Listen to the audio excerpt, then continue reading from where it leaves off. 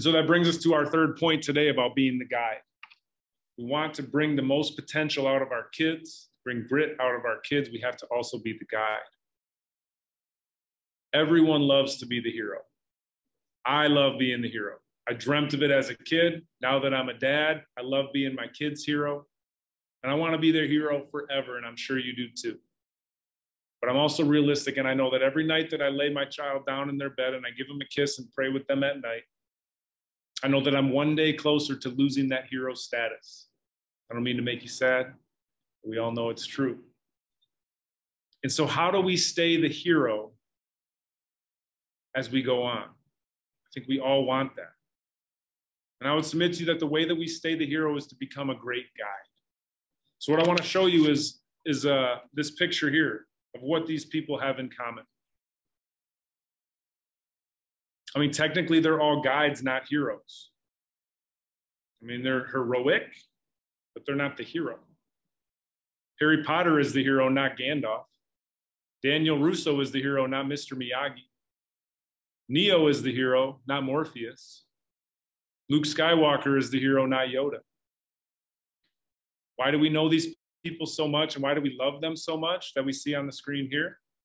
Because they assist the main character and becoming the hero of their story, to becoming the solution to the problem. The great pass on the soccer field is almost more admirable than the goal itself. The other thing we know about these people is they didn't snowplow the way, they didn't fix it for anyone.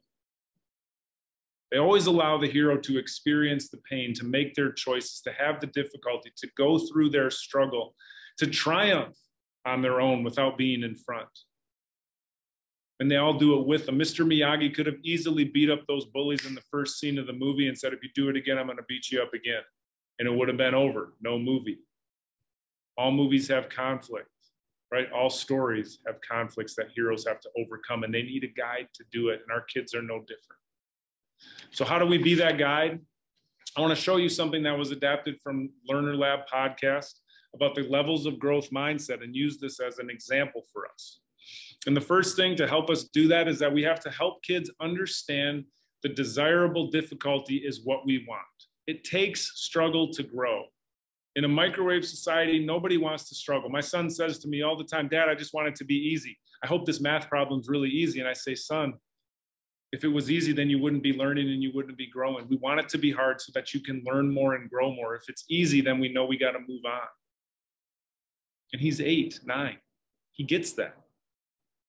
We need struggle to grow. In the weight room, if I put five pound weights in my hand and start lifting, we know we're not going to do it. We're going to be wasting time. Just like if I put 300 pounds on the bar and that's way too much, it's going to crush me. Somewhere in the middle of that is the desirable amount of difficulty that it takes to grow my body and to build my muscles and to improve my health. And that's desirable because we want that effect. And we really have to help kids understand and as a guide, as a great guide, what we can do is help them understand no, that difficulty is important. Don't run from that. Don't quit because it's hard or you know that's going to be difficult. You should still try it. Who cares if you mess up? We'll try again. Desirable amount of difficulty is the key to helping us understand to be gritty, resilient, and to have a growth mindset. Second, everything takes time. Microwave society if you're not good at it, you just quit. Right? We know that and you've seen it in your kids. You maybe even feel it in yourself sometimes. Maybe we even say it. Well, I guess I'm not good at bowling. I guess I can't do that. It takes time to build new skills. We have to remind kids it's okay for things to take time, right? To invest in something that's going to be difficult over time. Three, building skills requires reps in action. You have to opt in to the time it takes to do those difficult things if we want to grow and we want to change. And again, these are things we have to teach our kids because these thoughts and these levels don't come naturally anymore. The flow of society doesn't want these things to be natural. They want you to feed what you're good at only, put it in a silo and stick with it. And if you're not, that's fixed mindset idea. That's what society is built on. I know that if I want to get more fit, I can learn a lot from going on Instagram and looking at social influencers who have all those great fitness videos. Oh, that would be a great workout for my glutes, right? That would be a great ab workout. But we also know that we have to stop watching the video and start doing the work if we want to do it. That takes time and that's going to be difficult. We have to plan things for that. But if we want to change, we have to do it. We can't just watch and learn and talk about it. we have to remind kids that it's okay to get your hands dirty and get into stuff. That's going to be messy and it's going to be difficult. We have to start to change that norm in our households and in our communities. And I'll tell you what, the last thing is we got to remember that they need those reps, not us. We go back to snowplow, where we can see those things ahead of time. We can provide those answers ahead of time. We can do that. And we got to be really careful as the leaders in their lives not to bail them out and create a victim mentality. Right? When we come out of a tough game, the one thing we can say to make our kid feel better so they're not so sad hey, those refs, they really didn't know. You shouldn't have got this. You shouldn't have got that. We got, you know, we got screwed by that official. Well, the coach didn't have a good lineup out there. Right? We can create that mentality by trying to make them better, trying to make them feel better. And we can't do that. We have to allow them to sit in that desirable struggle for a little bit of time. Right? They have we have to allow them in there and let them opt into that. And we can't fix it for them because that's not what great guides do. No guide in any of these situations fixed it for the hero. Without these guides, our story heroes would not have done what they did to make the world a better place. It wouldn't have happened. These people were essential. Emphasizing these levels of building a growth mindset faithfully over time might not make your child happier in the moment. It doesn't make mine happier. I'm going to tell you that. But every single problem that they bring to you, you can probably refer right back into those three levels. So that that PDF document that you can download, I'd encourage you to do so. So you can have a, a visual representation of these levels for you to remember and teach your children about. And in a microwave society, success might not come so quick right away if we're going to allow them to be in their struggle. Like I said, Miyagi could have fixed it, but he let Daniel go through this whole series of events to get to that point. He didn't do it for him.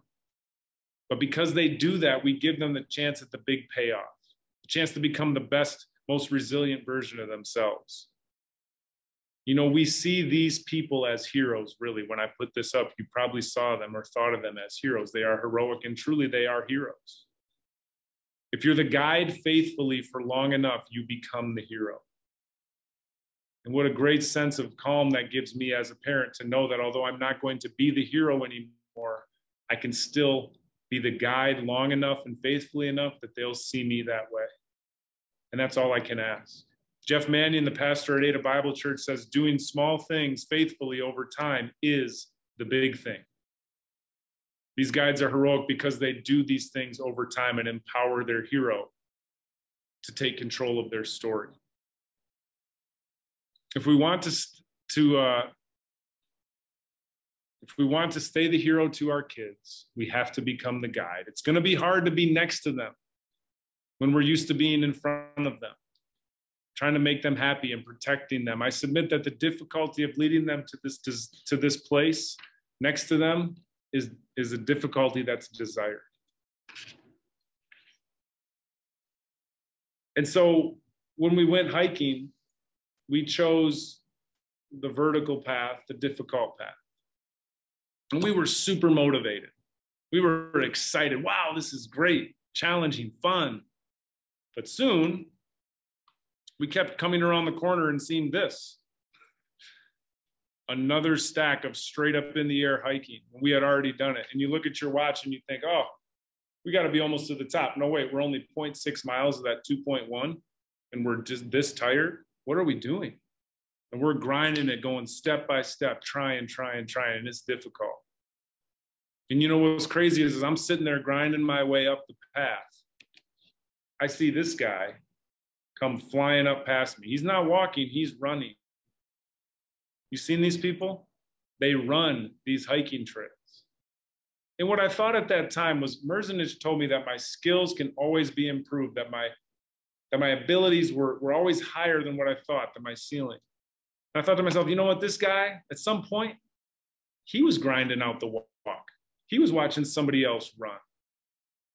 And now he's running. I mean, he's able to do that and run up. And I thought, it makes sense because at the top, at the top, there's a payoff. And if we keep staying with it and we keep going, we're going to get better at those skills and there's going to be a payoff. Right? There's a sense of well done. You can see the city of Phoenix. It was beautiful, one of the highest points in Phoenix. It was well worth it. We did our best. We had this sense of we made it, we accomplished something. It was a race well run. There would have been nothing wrong with 180 feet of elevation. It was positive, it was fine, it was a hike, it would have been great. But man, the 1,200 feet was well worth the struggle. And I can't guarantee you that my kids are going to be perfect or the most resilient just because I know this information. And I can't guarantee that yours will be either. But I know that I want to go through the struggle it will take for me to lead in this way. So there's a chance at the big payoff. Because if I can give them the best chance to bring forth their potential, I feel like that's the job well done. And I think because you're here today, that you feel the same way.